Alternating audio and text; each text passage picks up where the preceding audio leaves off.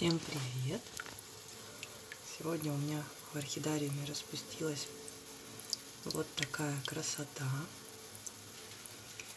Это, никогда не догадаетесь, фаленопсис эквестрис трилип от Иченга. И он зацвел не пилориком, классической формы. Я на самом деле знала, что он так процветет, потому что покупала я его с цветком. Мне просто очень-очень захотелось получить в свою коллекцию, скажем так, папу-маму пилоричного иченга. Вот.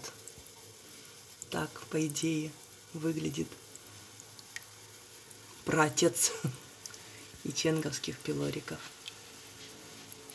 Симпатичный эквестрис получился. Мне очень понравились тоненькие продолговатые лепестки и при этом у него достаточно широкая губа и кончик язычка или губы не белый, не оранжевый, не желтый, а посмотрите, сиреневый, как и лепесточки.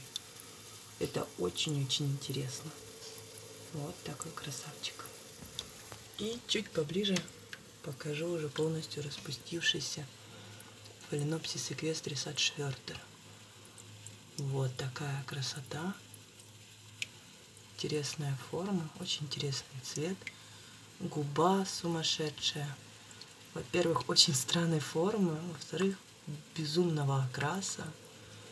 Очень крупный пятнистый калус. Очень рада, что в коллекции есть такая редкость.